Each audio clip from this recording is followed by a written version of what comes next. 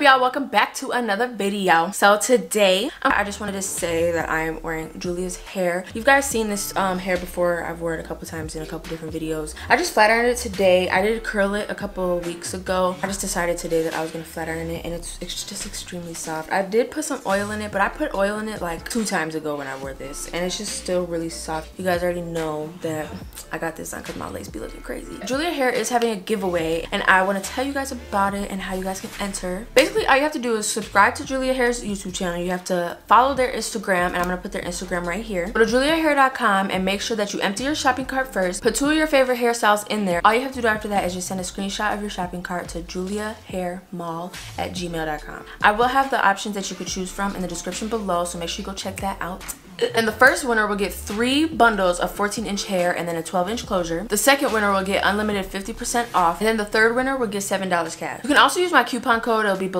in the description. And the hair that I have in my head is the Brazilian straight 20 inch. And then I have a 20 inch frontal um, that'll also be in the description below if you want to get this hair to match me.